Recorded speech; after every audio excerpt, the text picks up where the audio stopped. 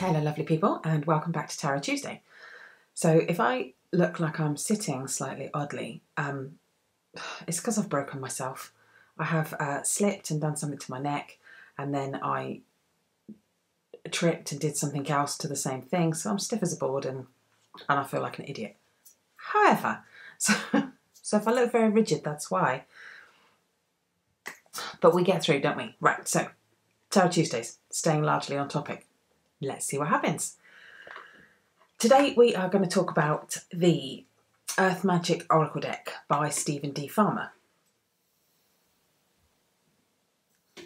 And as is normal, we will, sorry, feel like an old lady. Um, and as is normal, we will we will start with the facts. Right, okay, so this is a, got my little box here. This is a uh, 48 card deck with a 170 page book. Now, this deck came out in 2009 and it is published by Hay House. I have had it probably that long. Um, it is a good solid, good solid stock, the gift box, because I mean it's sort of 10, 11 years old, so mine has lasted really, really well. Um, the box is in a gloss finish, the book is in a gloss finish, and the cards are all in a gloss finish. So, as I've said before, with um, I'm sure I've probably said before, that when you get really high gloss and shiny cards, they do sometimes sort of stick. And when you're trying to to kind of shuffle them, so like that, they they just kind of go down as a whole, and they stick together. And a little bit of uh, flour, a little bit of corn flour, rub it between your fingertips, and just kind of work it through the deck does help to loosen it up. But in some cases, it it just takes time to kind of to get everything smooth and kind of you know free flowing, as it were. So there's that. Um, the guidebook breaks down with sort of a standard format, so it gives you a a couple of different spreads that you can try first, and then it gives you the explanations on the cards in the rest.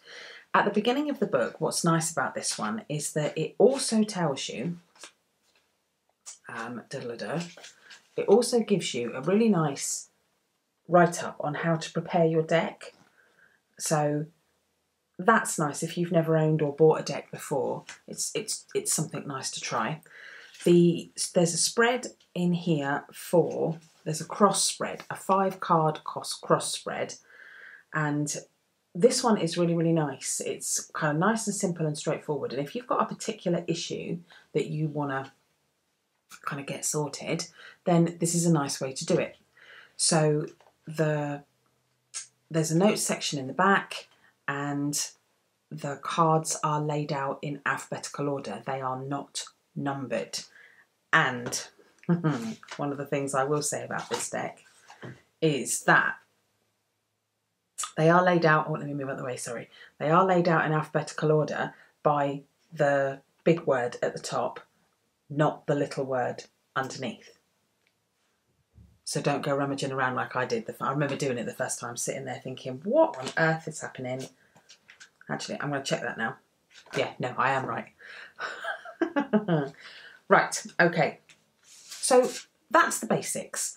Steven D. Farmer is, um, he writes, oh, my brain, the spirit animal kind of dictionary basically. And if you've if you've watched any of my videos before i've had the the spirit the, the, spirit animal guide. I've had the book for years and it is one that i go back to again and again and again. However i've got a, a just a thought process i suppose as i've got ready to make this video today is that Steven Farmer is a uh, shamanic practitioner, um, hypnotherapist, sort of Reiki guide, and his he tends to, from what I have bought, tends to work largely with animals, animal spirits, and kind of within the animal kingdom.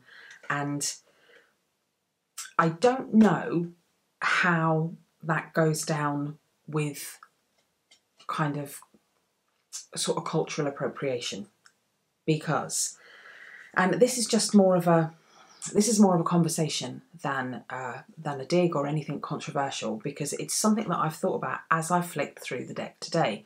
there is a real um, indigenous sort of uh, vibe to his to all his decks and cards. There is something very kind of shamanic, and I don't know a great deal about his backstory. Um, so I don't know. I don't know. I don't know if there's current opinion going on within the community that I don't know anything about. I have had this deck for a number of years. It is a nice deck, and I thought it would be nice to review it. Um, however, if you have really strong opinions or an understanding that perhaps I haven't covered, do feel free to leave me comments down below. And I mean, it's it's a conversation, isn't it?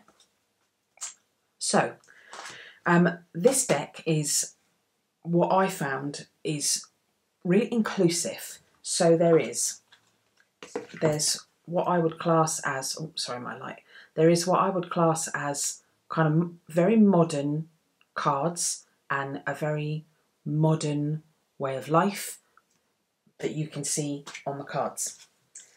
There is, I'm just going to look for them and find them now. I'm really conscious making this video that I want to get my my language right and my explanations right so I don't um, offend or upset anyone really. So he also uses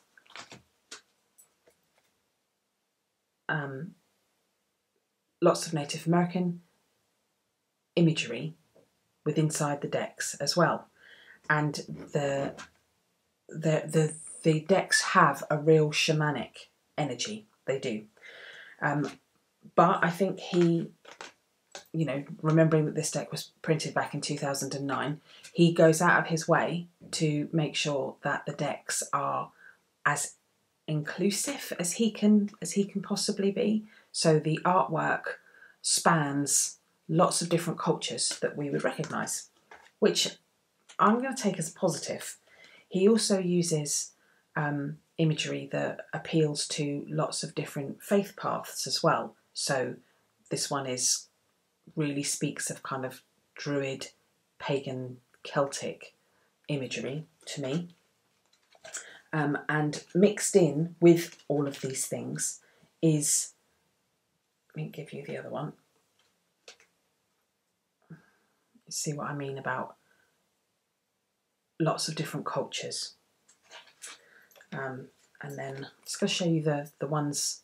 So again, that has a real kind of spiritual, crystal, yoga. So there's there is lots and lots of different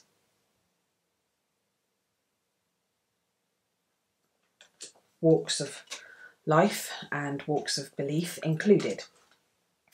Wrapped in with all of these cards is lots and lots and lots of earth and animal. Oh, show these ones earth and animal images, which gives you, for instance, oh, for instance, so that's the rain card. So you get the seasons mixed in as well, and then the tide mixed in as well. So you're getting all parts of of kind of of the earth, of, of Gaia, of the divine. You're getting all the parts of everything. So in and amongst all these, I'll show you all ones, make sure I'm not in the way. That's the back of the card as well. I'll just show you the back of the card quickly. Um, so in and amongst all these, the descriptions break down. So the first card that I showed you, which I said was very kind of very modern. It gave to a very kind of modern, up to date kind of lifestyle. The if we go if we go to the book, so you get a picture of the card, um, and then the card's name, the new moon, and the promise, and then you get two types of text. So you are getting roughly two pages to each explanation for each card for each explanation. So you're getting a standard font and then a font in italics. So the standard font is giving you a brief description um, of the card and kind of an explanation of the symbolism and what it's trying to tell you. And then underneath in italics is kind of the what this what, what it actually applies to. So normal font, explanation and symbolism, and then in italics is the message, if you like. Um, and it, it's really quite straightforward. So, for instance, the, the, the young couple sat looking out over the sea is this is the time to launch a new project, a new relationship, or renew something that has been put aside for a later date. And it goes on. Um, and then it finishes with um, when your will is aligned with the will of spirit and your intention is focused upon what you wish to have happen, there will be fulfillment and the promise is kept. Um, so you could use like the last sentence of the italics as um, an affirmation to manifest what you want. So, for instance, if I just choose, there's a waterfall card in here. The the last the last sentence of that is keep your focus on your solar solar plexus and your breath, breathing through any tension. Relaxing and yielding to the movement that is occurring at any given moment makes your life effortless. So you could use the last sentences as um, as, as a way to manifest and, and move forward.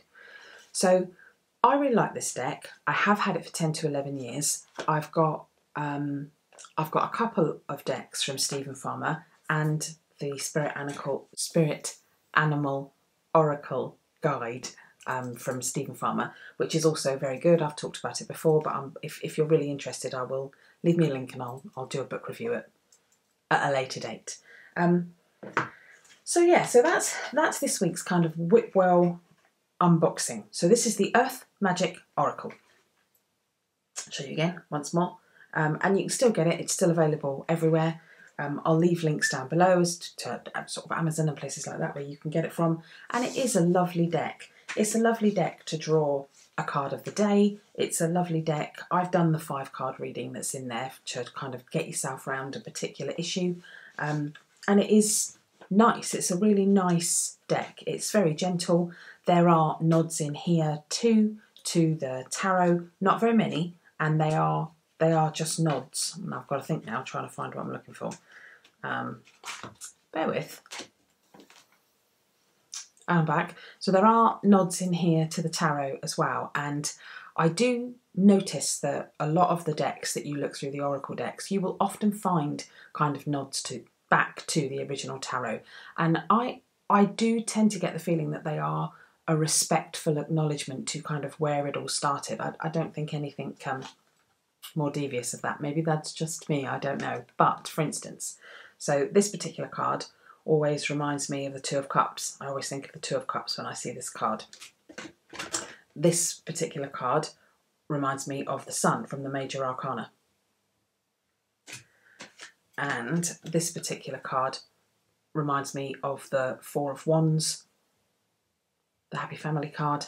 Um, now, I know I've looked at this one before and often wondered if it could be um, the Six of Cups, but I get a much happier and more present energy off of this one.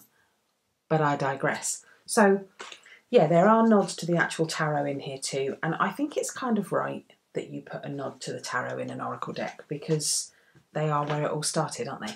So, that is this week's Raw Through Earth Magic by Steven D. Farmer. Have a lovely week. I will see you next Tuesday and bright blessings, everyone.